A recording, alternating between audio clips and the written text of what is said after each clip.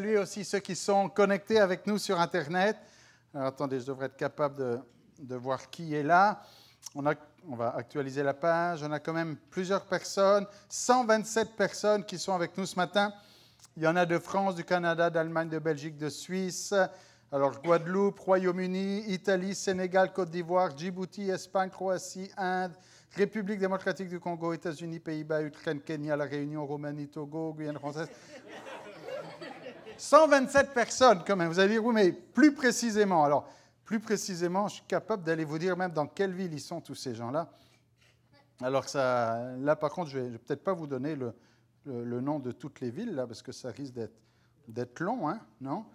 Montréal, Sherbrooke, Sudbury, Saint-Hyacinthe, Montréal, Montréal, Ottawa, Ottawa, Genève, alors, il y en a de France aussi, Bordeaux, Norrois-le-Veneur, il y en a de Belgique, de Fran, Cognac, Reims, Nice, euh, Bécon, les Granit, en France. Pessac, Avignon, Angoulême, Menton, Villiers, Meudon, Toulouse, Berlin en Allemagne, Antony en France, Cannes-sur-Mer, Bruxelles en Belgique, Vincennes, Francfort en Allemagne, Pennes-les-Fontaines, Bayonne, alors attendez, Radelfingen en Suisse, Mandovi en Italie, euh, Lavenal Poitiers, Paris, Saint-Quentin, en Suisse, Paris, Limoges, Reims, enfin ça fait du monde, hein, Manos, Marseille, euh, Bruxelles, Sarcelles, Terrebonne, Montréal, Montréal, Québec. Ouf. Tous ces gens ont décidé d'être avec nous ce matin. Et on, on, veut les saluer et soyez les bienvenus sur ce direct de l'église de Pentecôte de Drummondville. Et évidemment, on pense aussi à Berthierville, à l'église de la parole vivante à Berthierville, qui est en, connexion avec nous chaque dimanche matin.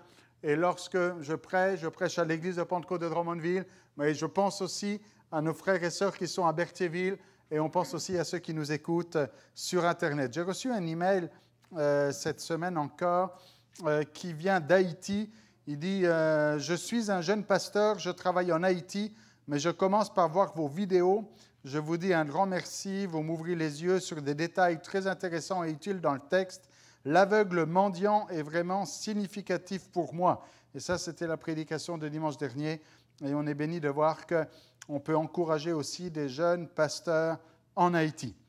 Ce matin, on est toujours dans cette série intitulée Laissez-moi vous parler de Jésus, qui, dont la diffusion a commencé cette semaine sur les ondes de TV Cogeco, Canal 3. Et donc on est ici sur Laissez-moi vous parler de Jésus. Et ce matin, nous sommes sur un sujet simple et vrai, Jésus guérit. Et nous avons déjà entendu le témoignage de Pierre-Paul ce matin, et nous disons, nous proclamons Jésus guérit. Et ce n'est pas seulement des mots, ce n'est pas seulement des paroles. Nous ne pas là en train de dire, bon, on va vous dire que Jésus guérit. Oui, mais encore, est-ce que c'est vrai? Est-ce que ça marche aujourd'hui? Et peut-être le, le, bon moyen de vous en, de vous en convaincre, c'est d'entendre peut-être un autre témoignage, quelqu'un qui va dire, c'est vrai, Jésus guérit. Et c'est Sarah Michel qui va venir dire à la planète que Jésus guérit.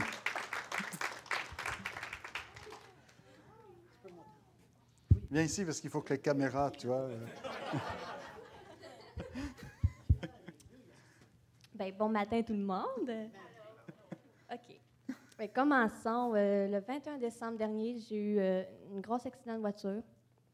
Puis déjà là, à l'accident, on voit que Dieu était là parce que si j'étais pas censée être là devant vous, ou du moins pas debout. Mhm. Parce que déjà, au moment où j'ai vu, tu sais, il y avait le fossé. Au moment que j'ai vu que ça fait ça, ça fait comme, OK, non, je, me remets tes mains, Seigneur. Puis la seule image que j'ai eue, ça a été Dieu, il a ouvert la porte, il s'est assis, puis il a pris ma main. Ça fait, OK, j'y vais. Puis là, OK, on fait les cascades, tout. Là, ça l'arrête. Là, euh, avec l'adrénaline, j'ai réussi à me lever, à marcher. Mais une fois que l'adrénaline a complètement tombé de mon bassin mes pieds, plus rien bougeait. J'avais beau forcer, j'avais beau, j'étais couchée, j'avais beau essayer de bouger. Il n'y a rien qui bougeait, ça faisait juste une douleur atroce que j'étais comme aïe aïe. Puis là, euh, j'étais comme, je m'attendais au pire. J'étais comme, OK, là, tu sais, si j'ai pu à marcher, OK, là, dans le fond, ça va être correct. Là, ça va être dur, mais je vais l'accepter. C'est comme, OK. Mais là, j'étais comme, merci Seigneur parce que j'ai pu me relever, j'ai marché. Puis même euh, les médecins, le médecin qui s'occupait de moi, il était comme, ah ben ok, tu sais, t'as aucune fracture, t'as rien, là, c'est déplacé, mais pas de fracture, rien. J'étais comme, ah, ok. Mais là, tu sais, les semaines passaient. OK, oui, je pouvais marcher, mais j'ai commencé à être fâchée. Parce que là, tu sais, j'étais comme, oui, je peux marcher, mais je peux plus courir, je peux plus faire de sport, je dors mal. Puis en même temps, j'étais aussi, c'est aussi psychologique. J'étais comme fâchée, je commençais à être en dépression. J'étais comme, j'étais train d'avoir mal. Puis en même temps, je me disais, OK, j'ai mal, mais la douleur me fait voir que je suis encore en vie. Fait que là, mais j'étais comme, juste au moment donné, ça fait que, OK, wow, Sarah, ça marche pas, arrête de penser négativement de même, que j'arrêtais pas de me plaindre. C'est comme, mais là, mais pourquoi, tu sais, je peux marcher, mais je peux plus courir, je peux plus faire de sport. Dès que je fais le moins petit effort, euh, toutes mes jambes s'engourdissaient, j'avais mal, j'endormais mal, j'étais plus capable. Puis là, ça fait, OK, non, j'arrête là, j'arrête de penser de même, ça fait, OK, Seigneur, je te fais confiance. J'ai l'usage de mes jambes, mais je vais les utiliser, ces jambes-là. Fait que là, le dimanche soir où euh, c'était sur la guérison, je viens. Puis en tête, c'est comme, OK, c'est à soi que ça se passe, à soi, je vais être guéri. Fait que, OK, c'est l'appel. Je m'avance, je suis comme, OK, c'est maintenant. Je, suis, je vais être guéri maintenant. J'y vais. cette semaine-là, j'avais un cours de mise en forme au cégep. Et là, OK, je me suis dit, je vais aller à mon cours, je vais me donner à fond, puis j'aurai pas mal. J'ai été à mon cours, je me suis donné à fond comme jamais, puis j'ai pas eu mal puis depuis ce dimanche soir-là, je dors bien toutes les nuits. Euh, j'ai plus mal. Je bouge même plus qu'avant. Parce que Dieu m'a guéri. Puis c'est fou. Parce que vraiment, c'était.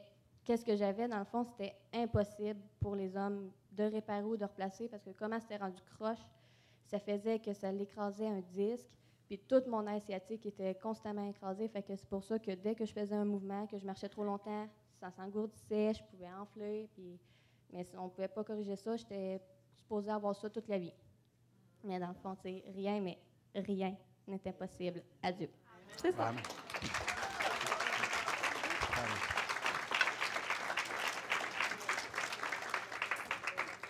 Gloire à Dieu. Jésus guérit. Et le message est simple et pour que, Jésus, pour que Jésus guérisse, comment ça marche Certains vont dire, mais comment est-ce qu'on peut être guéri? Ben, La première chose, c'est venir à lui. Si tu vas, si tu viens pas à Jésus, tu n'attends pas à ce que Jésus te guérisse. Pour être guéri, il faut venir à Jésus. Et ce matin, j'aimerais vous inviter à ouvrir vos Bibles avec moi dans l'Évangile selon Marc au chapitre 5. Et on va être là dans un texte euh, d'une guérison, ou même de deux, dans Marc chapitre 5, à partir du verset 22. Je vous invite vraiment à tourner les pages de votre Bible et à suivre avec moi dans votre Bible. Hein. Si vous avez oublié votre Bible ce matin, vous avez un mauvais point. Attention, après, avec deux mauvais points, ça va mal. Hein. Non, non, non.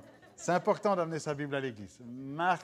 Marc, chapitre 5, euh, verset 22. Et puis à Berthierville, je vous vois aussi, hein, ceux qui n'ont pas de Bible. Hein. Bon. On y est, Marc 5, 22 un chef de la synagogue locale nommé Jairus arriva. Il vit Jésus, se jeta à ses pieds et le supplia avec instance. Ma fille, ma petite fille est mourante, dit-il. Je t'en prie, viens et pose les mains sur elle afin qu'elle soit sauvée et qu'elle vive. Jésus partit avec lui. Une grande foule l'accompagnait et le pressait de tous côtés un homme a une petite fille qui est souffrante, qui est sur le point de mourir, qui est malade, quel est son réflexe? Il vient à Jésus. Cet homme se dit, c'est Jésus seul qui pourra intervenir et faire quelque chose pour ma fille. Il vient vers Jésus, il le prie, il le supplie, il l'implore de venir chez lui, de poser les mains sur elle, de la toucher afin qu'elle soit guéri. C'est là la prière de cet homme nommé Jairus qui vient vers Jésus. Et que fait Jésus? Jésus partit avec lui. Cet homme demande à Jésus de venir chez lui et la réponse de Jésus, je viens. Cet homme lui dit, viens, et Jésus dit, je viens. Et cet homme part avec lui et, il répond à la prière de cet homme. Mais si cet homme était resté chez lui, en train de gémir, de pleurer sur le pauvre sort de sa fille, jamais elle aurait été guérie. Mais parce qu'il est venu à Jésus, et si vous connaissez déjà l'histoire, parce qu'il est venu à Jésus, tout change pour euh, cette famille et euh, le fait de venir à Jésus va être salutaire. Et on a des histoires comme ça partout dans l'Évangile. Un, autre exemple, dans Luc chapitre 7, c'est l'histoire d'un centenier qui est un serviteur qui, est sur le point, euh, qui était sur le point de mourir aussi. Et il est dit au verset 3, ayant entendu parler de Jésus, il envoya quelques anciens des Juifs, des Juifs pour le prier de venir guérir son serviteur. Cet homme aussi va demander à Jésus et dit, Seigneur, il faut que tu viennes. Mais pourquoi cet homme est allé chercher Jésus? Parce que ça commence avec ces mots, ayant entendu parler de Jésus. Et c'est pour ça que ce matin, nous voulons dire, laissez-moi vous parler de Jésus.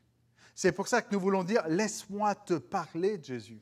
Parce que quand quelqu'un entend parler de Jésus, il peut ensuite dire, je veux aller le chercher, je veux le connaître, il est euh, le remède, la solution, c'est de lui dont j'ai besoin. Et cet homme est allé chercher Jésus parce qu'il a appris que Jésus était là et tout va changer dans sa vie. Il y a une autre histoire dans Jean chapitre 4, mais on va la passer pour ce matin. Et je reviens à notre histoire de Jean, de Marc 5, un homme, Jairus, vient chercher Jésus. Jésus vient, ma fille est sur le point de mourir. Jésus répond, je viens, il l'accompagne. Jésus est celui qui répond favorablement. Et il nous a fait cette promesse dans Jean chapitre 6, verset 37. Jésus fait une promesse en ce temps qui est encore valable pour nous aujourd'hui. Et si vous pouvez prendre cette promesse personnellement, ce serait la meilleure des choses à faire. Et Jésus dit, chacun de ceux que le Père me donne viendra à moi, et je ne rejetterai jamais celui qui vient à moi. Donc la première étape vers la guérison, c'est de venir à Jésus. Et Jésus nous fait cette promesse, nous donne cette garantie qu'il ne rejettera jamais celui qui vient à lui. Si tu t'approches de lui ce matin, Jésus ne va pas dire non, pas toi. Les autres, oui. Sarah Michel, oui. Pierre-Paul, oui. Mais pas toi. Non, non. Toi aussi. Jésus fait la promesse qu'il ne mettra pas dehors, qu'il ne rejettera jamais celui qui vient à lui. Le deuxième point ce matin, en chemin vers la guérison. Jésus a dit oui à Jairus, je viens chez toi. Et ils sont là donc en train de marcher sur le chemin vers la guérison. Cet homme est venu dire à Jésus, viens guérir ma fille. Jésus dit, je viens. Alors les voilà en train de marcher, de cheminer et d'aller vers la guérison. Mais en chemin, il se passe de quoi? Et ça, ça se produit encore aujourd'hui. Et on peut être en route vers, et il y a comme une interruption, il, s'est passé quelque chose, et on lit au verset 25, Marc 5, 25, il y avait là une femme qui avait des pertes de sang depuis 12 ans. Elle avait été chez de nombreux médecins dont le traitement l'avait fait beaucoup souffrir. Elle y avait dépensé tout son argent, mais cela n'avait servi à rien. Au contraire, elle allait plus mal. Elle avait entendu parler de Jésus. Ça vaut la peine hein, de dire à quelqu'un, laisse-moi te parler de Jésus. Elle a entendu parler de Jésus, parce que quelqu'un lui a parlé de Jésus. Elle a entendu parler de Jésus, elle vint alors dans la foule derrière lui et toucha son vêtement, car elle se disait, si je touche au moins ses vêtements, je serai guérie. Sa perte de sang s'arrêta aussitôt et elle se sentit guérie de son mal. Voyez-vous, Jairus vient vers Jésus en disant, il faut que tu viennes toucher ma fille. Tu la touches et elle sera guérie. C'est ce qu'on a lu tout à l'heure. Viens toucher ma fille. Mais cette femme qui est atteinte d'une perte de sang ne vient pas dire à Jésus, touche-moi. Parce que dans le contexte juif, on ne touche pas une femme ainsi parce que ce serait se rendre impur. Et cette femme n'oserait même pas demander à Jésus de la toucher. Elle se sent indigne. Elle se dit, mais je ne suis pas dans une condition où je puisse être touchée parce que dans la religion, je serais impur à cause de ma perte de sang. Ça rendrait celui qui me touche impur. Et elle se dit, si lui ne peut pas me toucher, moi, je vais le toucher. Et elle dit, je le toucherai et il va se passer quelque chose on est toujours en chemin vers la guérison. Et Jairus est là en train de se dire, il faut qu'on se dépêche, Jésus. Ma fille est sur le point de mourir. Et voilà qu'une femme vient arrêter le convoi. Voilà qu'une femme vient ralentir. Qu'est-ce qu'il devait y avoir dans le cœur de Jairus?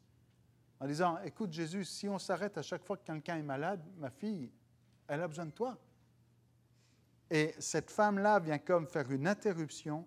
Et Jairus, dans son cœur, se dit, mais cette femme est malade depuis 12 ans. Elle a quel âge, la fille de Jairus? 12 ans. Jairus demande à Jésus de venir toucher cette fille. Cette femme touche Jésus et elle est guérie. D'une certaine manière, Jairus est encouragé en disant, Jésus guérit, il a guéri cette femme, il peut guérir ma fille. Mais d'un autre côté, il y a quelque chose qui le presse en disant, il faut se dépêcher là. On n'a pas de temps à perdre. Et des fois, quand on est sur ce chemin de la guérison, c'est souvent, on va dire souvent, un chemin d'impatience. On aime bien le petit mot aussitôt dans la Bible, hein, quand on est guéri tout de suite. Mais des fois, le chemin est un peu plus long et demande de la patience et demande de la foi. Dans Genèse chapitre 18, je vous rappelle l'histoire d'Abraham et Abraham et Sarah là vont recevoir une promesse d'avoir un enfant, mais ils étaient déjà vieux. Quand je dis vieux, c'est beaucoup plus que moi. Hein? L'un des, des, visiteurs déclara, je viendrai chez toi l'an prochain voilà ce que euh, l'ange, enfin ce que le visiteur de l'Éternel dit à Abraham. À la même époque, et ta femme Sarah aura un fils. Et Sarah, qui était derrière et qui écoutait tout ce qui se passe, euh, à l'entrée de la tente derrière Abraham, et elle écoutait, elle se mit à rire en elle-même, car Abraham et elle étaient déjà vieux et elle avait passé l'âge d'avoir des enfants. Ça veut dire ce que ça veut dire. Et Sarah dit, c'est quoi cette affaire? Moi, un fils l'année prochaine, mon mari est vieux, j'ai déjà dépassé l'âge d'avoir des enfants. Elle se disait donc, maintenant je suis usée et mon mari est un vieillard. Ma femme ne dit pas ça. Hein? Je ne suis, suis pas encore dans cette condition-là. Mais Sarah dit, mon mari est un vieillard et je suis usé, le temps du plaisir est passé. Et le Seigneur demande à Abraham, pourquoi ta femme a-t-elle ri? Pourquoi se dit-elle, c'est impossible? Je suis trop vieille pour avoir un enfant. Sarah est en train de rire, se dit, mais ça ne marche pas cette affaire. Et Dieu pointe du doigt cette incrédulité et dit, à Abraham, pourquoi est-ce qu'elle rit? Pourquoi est-ce qu'elle dit, c'est impossible, je suis trop vieille pour avoir un enfant? Et peut-être que certains sont dans la même condition ce matin, et quand on parle de guérison, vont rire. Ou quand on parle de miracle, vont rire, et vont dire, c'est impossible. Mais le Seigneur dit, pourquoi ris-tu? Verset 14, y a-t-il donc quelque chose que le Seigneur soit incapable de réaliser? Et le Seigneur dit lui-même à Abraham, il n'y a rien d'impossible à Dieu. Et ça, s'est répété plusieurs fois dans la Bible. Y a-t-il donc quelque chose que Dieu soit pas capable de faire? Quand je reviendrai chez toi l'an prochain, à la même époque, et on répète la même promesse, Sarah aura un fils. Et Sarah a peur, effrayée, elle nia et dit, non, non, non, j'ai pari. Si tu as ri, répondit le Seigneur. Vous savez, des fois, on est là, on, on rit, on dit c'est impossible, ça ne marche pas, je ne serai jamais guéri. Et si le Seigneur te dit ce matin, pourquoi tu ris? Il n'y a rien d'impossible à Dieu. Et que tu es là comme repris par le Saint-Esprit dans ton cœur, puis après tu dis non, non, mais j'ai pari, je ne suis pas incrédule, je, je crois. Et le Seigneur dit non, non, tu as ri, tu as été incrédule. Mais Sarah, un an plus tard, avait un fils dans les bras. Fils du miracle, parce que Dieu est le Dieu du miracle. Et ça nous montre que malgré son incrédulité, eh bien, le miracle va prendre place. Parce que là, ce jour-là, elle se sent comme reprise au plus profond d'elle-même. Et Dieu, le Seigneur, la reprend en disant Arrête de rire. Parce qu'il y aurait-il quelque chose d'impossible à Dieu? Et ce matin, le Dieu que nous servons, c'est le même qu'au temps d'Abraham. Nous avons dit il y a quelque temps aussi que Jésus est le même hier, aujourd'hui, pour toujours. Et il y a toujours, aujourd'hui c'est vrai encore, rien que Dieu ne soit pas capable de faire. Il est le Dieu de l'impossible. Il est le Dieu du miracle. Alors ne ris pas dans ton cœur et ne dis pas au fond de toi-même, c'est pas possible. Ça, Dieu n'est pas capable. Et peut-être que par le Saint-Esprit, c'est Dieu lui-même qui va te dire ce matin, si tu as ri, arrête de rire, le Seigneur veut faire quelque chose de grand et bénis-le au contraire. Jésus, un peu plus tard dans l'évangile de Marc, dira, tout ce que vous demandez en priant, croyez que vous l'avez reçu et vous le verrez s'accomplir. Ce que vous demandez, croyez que vous l'avez. Et ne doutez pas en vous-même. Ne riez pas, ne, ne dites pas c'est impossible, jamais ça arrivera. Croyez et vous le verrez s'accomplir. Alors je reviens à l'histoire de Marc 5. Cette femme est guérie. Elle a touché le bord du vêtement de Jésus. Elle a été guérie. Et Jairus se dit, bon, ben, elle est guérie, il faut qu'on continue, on avance. Mais au même moment, Jésus se rendit compte qu'une force était sortie de lui. Il se retourna au milieu de la foule et demanda, Qui a touché mes vêtements? Et ses disciples répondirent, Mais tu vois que la foule te presse de tous côtés et tu demandes encore, Qui m'a touché Et Jairus dit, Qu'importe qui t'a touché, Seigneur. Il faut qu'on se dépêche d'aller chez moi. Et Jésus regarda autour de lui pour voir qui avait fait cela. La femme tremblait de peur parce qu'elle savait ce qui lui était arrivé. Et elle vint alors se jeter à ses pieds, lui avoua toute la vérité, et Jésus lui dit, Ma fille, ta foi t'a guérie, va en paix, délivrer de ton mal. Tout est une question de foi. Une question de foi. Ma fille, ta foi t'a guérie. Et ce n'est pas la foi que nous sommes guéris. Jésus dit à cette femme, parce que tu as cru, tu n'as pas douté. Tu as cru que ce n'était pas impossible. Tu es venu et tu as obtenu ce miracle par la foi. Et là, une mauvaise nouvelle arrive pour Jairus, verset 35. Tandis que Jésus parlait ainsi, des messagers vinrent de la maison du chef de la synagogue et lui dirent, Ta fille est morte. Pourquoi déranger encore le maître? Et c'est comme si tout ce que Jairus craignait vient d'arriver. Jairus, au fond de lui-même, se disait, mais il faut se dépêcher, on n'a pas beaucoup de temps. Mais voilà que cette femme, elle, elle est guérie. Et c'est comme si Jairus se disait, elle a pris la place de ma fille. Vous savez, un petit peu comme quand on est dans une file avec des numéros. Elle avait un numéro avant cette femme. Jairus avait le numéro d'avant. Et cette femme, et passé direct devant tout le monde. Et Jairus se dit, mais s'il n'y avait pas eu cette interruption, on serait peut-être arrivé à temps pour que ma fille ne meure pas. Ta fille est morte, c'est trop tard.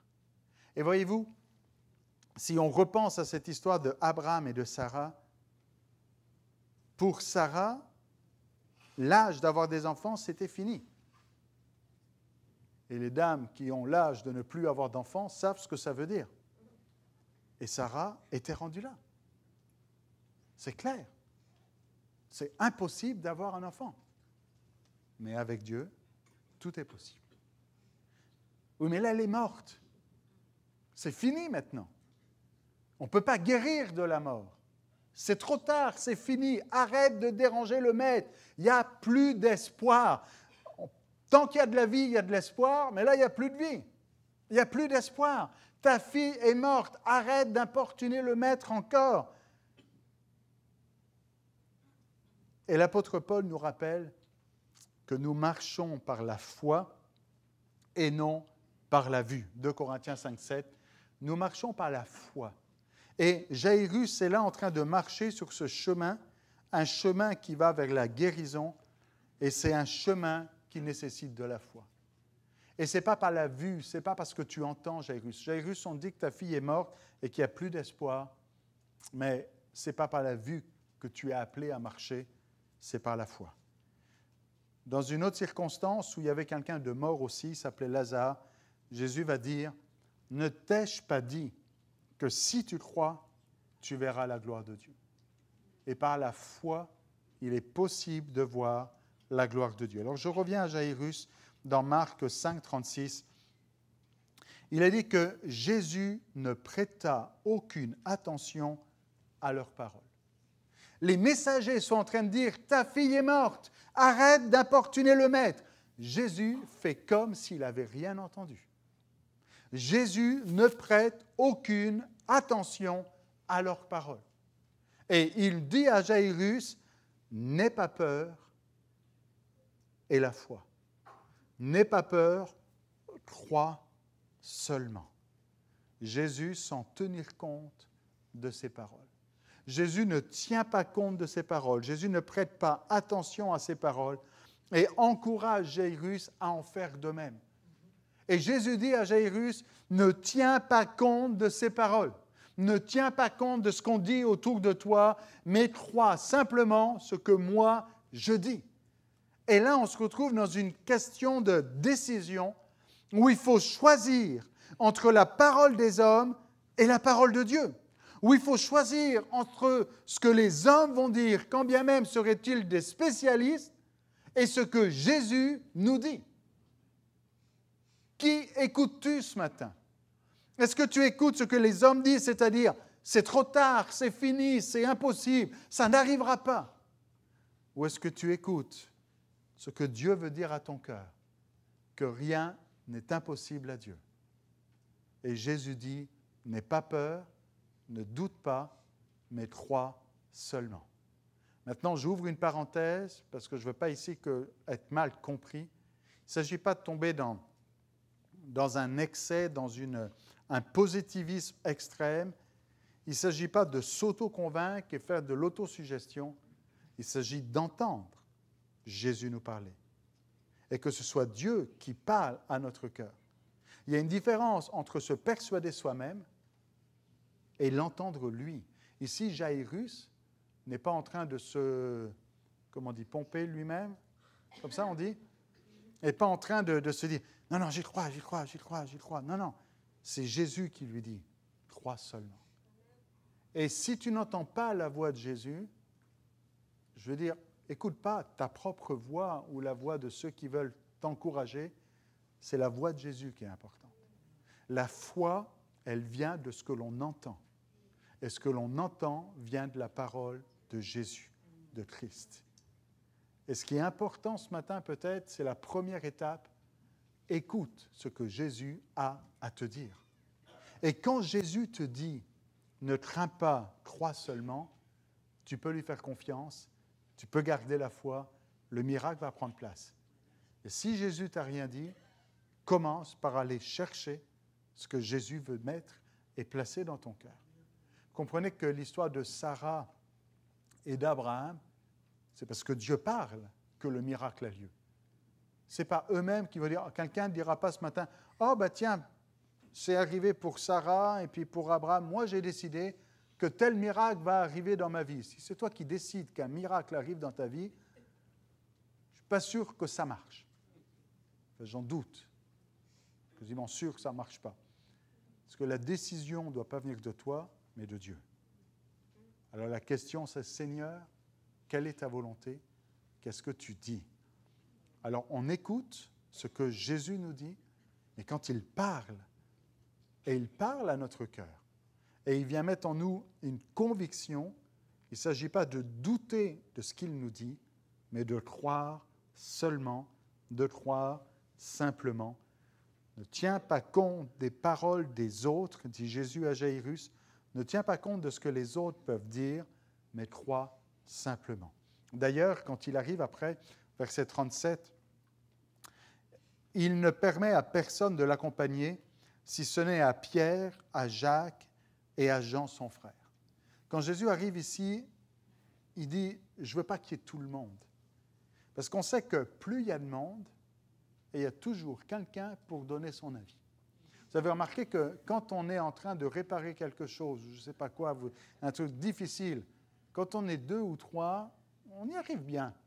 Mais si on est 50 ou 100, toujours quelqu'un qui dit non, il ne faut pas faire comme ça, mais mon, mon oncle un tel, il fait comme ça, mais, mais moi j'ai déjà vu à la télévision qu'on fait comme ça, non, non, mais ça ne marche pas, il ne faut pas faire. Puis, non, non, Jésus est en train de dire ici, il ne faut pas que tu écoutes tout ce que tout le monde dit autour de toi, et pour comment dire, protéger et simplifier aussi l'écoute de Jairus en disant, Jairus, isole-toi, n'écoute pas toutes ces paroles de défaite, mais crois simplement, Jésus limite l'entourage à Pierre, Jacques et Jean. Ils arrivent chez le chef de la synagogue et Jésus vit des gens très agités qui pleuraient et se lamentaient à grands cris. Il y a là des gens agités, qui pleurent, qui se lamentent. Il entre dans la maison et leur dit, pourquoi cette agitation et ces pleurs? L'enfant n'est pas morte, elle dort.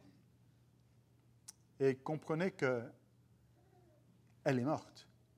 Mais Jésus dit, elle dort, ça veut dire, elle va pouvoir être réveillée. Verset 40, ils se moquèrent de lui et il les fit tous sortir et garda avec lui le père et la mère et les trois disciples et entra dans la chambre de l'enfant. Pourquoi cette agitation? Pourquoi ces pleurs? Pourquoi ces cris? Elle n'est pas morte, elle dort. Et là encore, il y a un décalage entre ce que Jésus dit et ce que tout le monde sait, ce que la société a vu, ce que les spécialistes ont vu, ce que les médecins ont pu déclarer. Elle est morte. Comment Jésus peux-tu dire qu'elle dort? Elle est morte. Et on se moque de lui. Sarah rit. Et là, on rit. Et on se moque. Et on dit, mais c'est quoi ce Jésus qui dit que cette fille dort On sait bien qu'elle est morte. Et Jésus va faire taire ces gens, va les empêcher de rentrer dans la pièce, dans la chambre, et il y a juste le Père, la Mère, les trois disciples et Jésus qui entre dans la chambre où cet enfant est là. Si tu veux voir un miracle dans ta vie, il faut venir à Jésus. Et si tu viens à Jésus, c'est pour l'écouter lui, pas les autres. Sinon, il y a comme un, problème, parce que d'un côté, quelque chose qui n'est pas cohérent, d'un côté, tu dis, je viens à Jésus pour que Jésus agisse et intervienne, mais tu écoutes tout ce que les autres disent. Si tu crois que c'est Jésus qui guérit, si tu crois que la réponse vient de Jésus, que le remède vient de Jésus, arrête d'écouter ce que peuvent dire les autres. D'autant plus quand ils rient et quand ils se moquent de ce que Jésus dit. Mais quand Jésus dit, il y a encore de l'espoir, tu crois qu'elle est morte et qu'il n'y a plus d'espoir parce qu'après la mort, il n'y a plus d'espoir? Jésus dit, elle peut encore se réveiller. Elle dort et le réveil est encore possible. Et j'arrive à la conclusion. Et la conclusion, c'est le miracle qui va prendre place ici. Et comprenez bien que ce matin, alors que dans cette série, laissez-moi vous parler de Jésus, nous disons que ce qui est vrai au temps de l'Évangile est vrai aujourd'hui encore. Et de la même manière qu'un miracle prend place ce jour-là, un miracle peut prendre place dans ta vie encore. Marc 5, 41, il la saisit par la main et lui dit, Talita kumi, ce qui signifie en araméen Jeune fille, lève-toi, je te le dis. Ou dans la version en français courant, il l'a pris par la main et lui dit Talita cum, ce qui signifie fillette, debout, je te le dis. Et ben, je vais essayer de rester simple avec ça, mais je regardais un peu ce, texte en grec. Et quand Jésus dit debout, il utilise le verbe égaire, qui, qui veut dire se réveiller, mais qui est le verbe aussi de la résurrection. Quand il est dit que Jésus est ressuscité d'entre les morts, il a été égaré, réveillé d'entre les morts.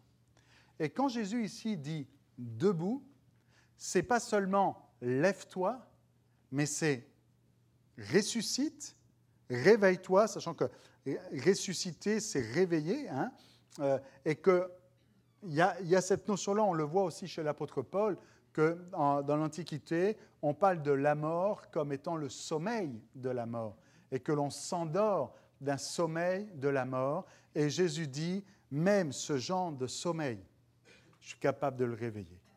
Il est la résurrection et la vie. Et Jésus ordonne à cette fille, à cette jeune fille, de sortir du sommeil de la mort. Il y avait des gens qui riaient, hein, qui se moquaient de lui, en disant, comment peux-tu dire qu'elle dort et qu'elle peut se réveiller encore? Elle est morte. Si on était un peu mesquin, on dirait, j'aimerais bien voir la tête qu'ils font ces gens-là après, là. Ils se sont moqués de lui. Jésus a dit, non, non, non, mais je vais la réveiller. Ouais, tu vas la réveiller, bien sûr. Et quand la fille est sortie, ils ont fait quelle tête? Voilà, ils sont allés voir le médecin en disant, t'es sûr qu'elle était morte? Il a dit, non, non, elle était morte. Aujourd'hui, ce qui est important, c'est de croire simplement, seulement dans ce que Jésus dit. Jésus dit, elle n'est pas morte, elle dort. En, en d'autres mots, ne te fie pas aux apparences, ne dis pas que c'est impossible. Si humainement parlant, il n'y a pas d'espoir, c'est impossible, c'est fini, avec Jésus, c'est encore possible. Et que faut-il? Et quelqu'un dira, oui, mais moi aujourd'hui, j'ai besoin d'un miracle de ma vie, j'ai besoin d'une guérison dans ma vie. Que faut-il? Viens à Jésus.